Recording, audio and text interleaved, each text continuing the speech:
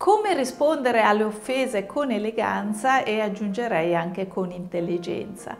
Recentemente ho fatto un sondaggio su Instagram e mi avete risposto in tantissime per chiedervi quali argomenti voleste vedere trattati in questa rubrica e in tantissime mi avete chiesto un video dedicato appunto a come rispondere alle provocazioni, alle offese che un po' eh, a tutte saranno capitate nel corso della vita e che alcune danno un po' del filo da torcere perché non è sempre eh, facile facile trovare la risposta giusta, quella che risolve il problema magari a lungo termine con determinate persone, soprattutto farlo con eleganza, classe e direi anche con intelligenza. Quando siamo oggetto di insulti o provocazioni, la nostra prima reazione potrebbe essere quella di rispondere con rabbia o eh, di sentirci offese, quindi di zittirci del tutto.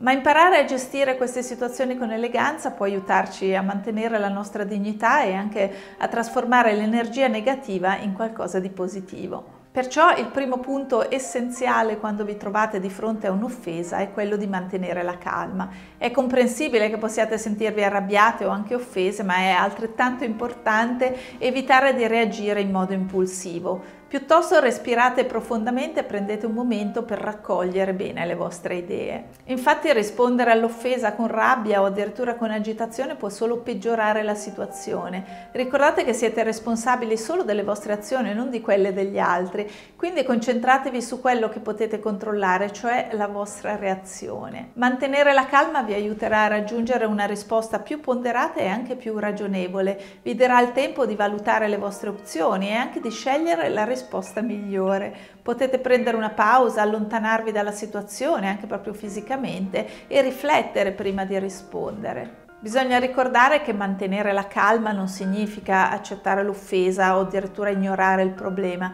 significa semplicemente gestire la situazione in modo controllato e ragionato. Il secondo consiglio è quello di smascherare l'avversaria ma di farlo con classe. Molto spesso, infatti, soprattutto quando l'offesa viene da un'altra donna, eh, non si tratta di offese dirette, almeno non nell'età adulta, una superata l'adolescenza è difficile che un'altra donna arrivi e ci insulti proprio in modo aperto. Spesso no, si tratta di frecciatine molto velenose ma altrettanto sottili, di cose che magari l'avversario pensa che ci metteremo quell'attimo in più per capire che si tratta di un'offesa e questa è una cosa che è capitata anche a me diverse volte. Per esempio, un paio di anni fa, quando questo canale YouTube stava iniziando a decollare, soprattutto quando ero già una blogger abbastanza conosciuta che era stata intervistata anche alla televisione, ho ricevuto un papiro lunghissimo da parte di una persona che tra l'altro non ho mai incontrato nella vita di tutti i giorni, una persona, una mm, ragazza, diciamo donna,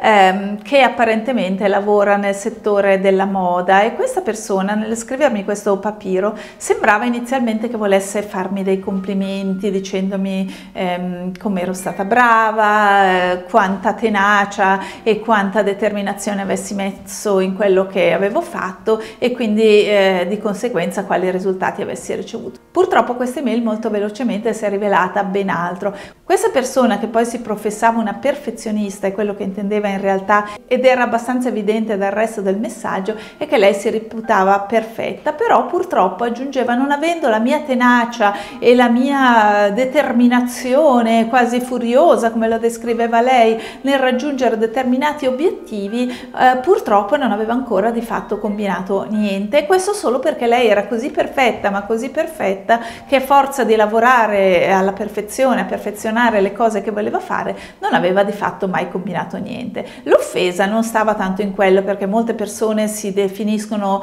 eh, perfezioniste quando in realtà intendono sono perfette, poi nella vita non combinano mai niente, perché non arriva mai il punto in cui cui sono perfette abbastanza, ma soprattutto l'offesa era nel continuare a ribadire che io avevo, secondo lei, ottenuto determinati risultati semplicemente perché ero una sgobbona, sostanzialmente non lo scriveva in questi termini, ma era abbastanza chiaro. Io purtroppo ho sbagliato perché invece di smascherarla subito e chiederle o apertamente che cosa intendesse ed era chiaro che cosa intendesse, oppure di dirle apertamente, senti, io lo trovo offensivo che tu non mi attribuisca alcun merito, alcuna capacità o competenza in quello che faccio, ma semplicemente affermi che tutti i miei risultati sono il frutto di un lavoro secondo te eh, fuori misura, da, sgob- da vera e propria sgobbone. In pratica mi stava dando della secchiona, cosa che io non sono mai stata in vita mia, men che meno a scuola, e quindi mi dà veramente fastidio. Eh, ricordiamoci che ogni volta che sminuiamo un'altra donna ci rifiutiamo di riconoscerne le capacità, i talenti e i meriti, diventiamo sempre più piccole anche noi. Infatti questa persona,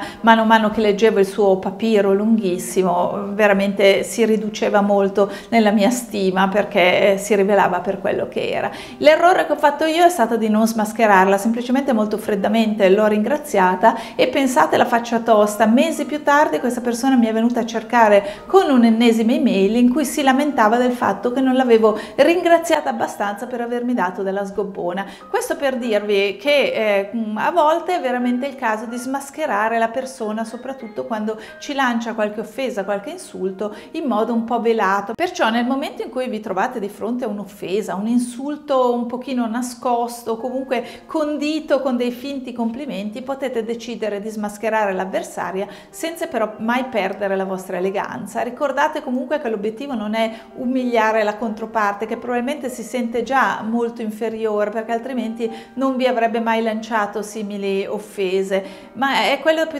di dimostrare la vostra sicurezza e la vostra intelligenza emotiva, quindi siate sempre e comunque superiori, però smascherate queste persone. Il terzo consiglio in questo caso è quello di rispondere con grazia. Se decidete di smascherare l'avversaria e quindi di rispondere, fatelo sempre con classe. Scegliete le vostre parole con grande attenzione, evitando insulti e un linguaggio volgare, perché questo significherebbe scendere magari al livello della persona che avete davanti. Potete ribattere in modo pacato e anche sicuro di voi stesso, evidenziando la vostra versione dei fatti o spiegando la vostra prospettiva. Ricordate sempre di mantenere comunque un tono rispettoso, sempre per il motivo che abbiamo detto, che altrimenti ci mettiamo allo stesso livello. Un altro consiglio è quello di mostrare empatia. Potete dimostrare empatia anche in una situazione in cui state smascherando la vostra avversaria. Cercate di comprendere le sue motivazioni, in questo caso erano abbastanza chiare, e mettetevi un pochino nei suoi panni senza per questo scendere al suo livello. Questo potrebbe tra l'altro aiutare a creare un dialogo costruttivo se voi mostrate empatia e a far emergere una maggiore comprensione reciproca tra di voi. Questo naturalmente se vale la pena salvare il rapporto con questa persona o se magari dovete averci a che fare per forza. Un altro consiglio è quello di essere sempre assertive, cioè durante la vostra risposta che darete mantenete la vostra sicurezza e anche la vostra capacità di argomentare. Non permettete che l'offesa vi intimidisca o vi faccia sentire inferiore inferiori, esprimete le vostre opinioni con chiarezza e fermezza, senza per questo diventare a vostra volta aggressive. Un terzo consiglio per rispondere con eleganza, classe e anche intelligenza alle offese è quello, quantomeno qualche volta, di rispondere con gentilezza. A volte infatti una risposta gentile può essere la migliore arma contro le offese. Potete ringraziare le persone per il feedback ricevuto, ad esempio se l'offesa in qualche modo vi viene rivolta in un contesto professionale e ribadire che apprezzate apprezzate le opinioni diverse dalla vostra. Quindi la gentilezza a volte paga perché poi anche la controparte eh, spesso si rilassa, soprattutto se eh, lo, magari era un discorso caratteriale o la persona eh, che ci ha offeso semplicemente ha un brutto modo di fare, quindi questo permette anche all'altra persona di rilassarsi, magari poi anche lei si rende conto di aver sbagliato e cambia un po' i toni. Questo capita in realtà abbastanza spesso. Tra l'altro questo tipo di atteggiamento mostra maturità e apertura mentale, mentre al tempo stesso mette in evidenza la mancanza di rispetto che avete ricevuto, quindi umilia la controparte a sufficienza.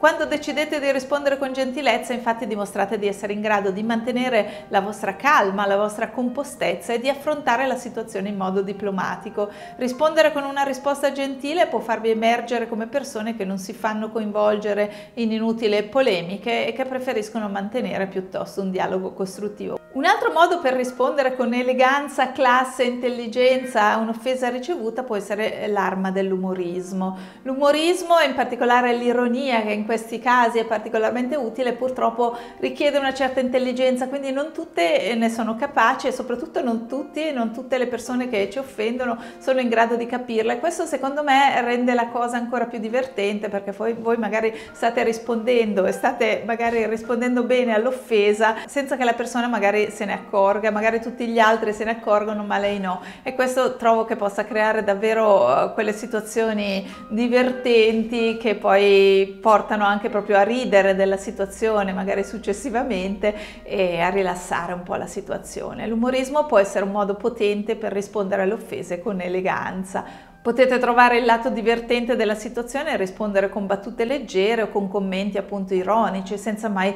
sfociare nel sarcasmo perché anche se a volte potrebbe essere anche giusto utilizzarlo è sempre a sua volta estremamente offensivo. Quando decidete di utilizzare l'umorismo o anche l'ironia per rispondere a un'offesa infatti dimostrate che siete in grado di affrontare le critiche o le offese in modo leggero e anche con spirito. Rispondere con una battuta intelligente può sorprendere l'altra persona persona e farla anche riflettere magari sul comportamento avuto. È sempre importante però, come vi dicevo, fare attenzione a non cadere nel sarcasmo, comunque in quell'umorismo che poi diventa a sua volta molto offensivo. L'obiettivo non è tanto umiliare l'altra persona, ma rispondere in modo elegante e con classe. L'uso dell'umorismo può essere un'arma potente, ma dovete essere consapevoli del contesto e anche delle persone che sono coinvolte. Un ultimo consiglio molto importante quando riceviamo un'offesa è quello di eh, salvaguardare la stima che abbiamo di noi stessi e quindi di concentrarci subito anche sulle nostre qualità. Quando qualcuno ci offende, infatti, ricordiamo che le loro parole non definiscono chi siamo. Spesso le offese sono veramente del tutto gratuite da parte magari di persone che non ci conoscono affatto, che non hanno nemmeno ascoltato bene quello che abbiamo detto. Perciò focalizziamoci piuttosto sulle nostre qualità, sui nostri valori e anche su tutto quello che abbiamo realizzato fino a questo momento e lasciamo che la nostra autostima rimanga intatta senza permettere mai a nessuno, eh, tantomeno a un'offesa magari molto stupida e gratuita, di scalfirla. Questa è veramente la cosa più importante perché se eh, preserviamo noi stessi la nostra autostima saremo sempre in grado di trovare il modo giusto per rispondere a qualsiasi situazione anche negativa come nel caso di un insulto, di un'offesa ricevuta. Insomma, concludendo concludendo possiamo dire che rispondere alle offese in modo efficace, con eleganza, grazia e anche con intelligenza si può, ma richiede di solito un pochino di pazienza e di riflessione. Mantenere la calma, ignorare o sorridere oppure rispondere sia con gentilezza oppure con ironia, eh, magari anche smascherare con eleganza l'avversario e poi concentrarci soprattutto sulle nostre qualità interiori sono tutti modi per gestire al meglio in modo positivo e costruttivo positivo queste situazioni, magari perché no insegnare anche un po' di buona educazione alle persone che abbiamo di fronte. Spero che questo video vi sia piaciuto, se è così qua sopra ve ne lascio subito altre due da guardare. Iscrivetevi al canale e magari lasciatemi anche un bel like per supportarmi un po' e ci vediamo al prossimo video. Ciao!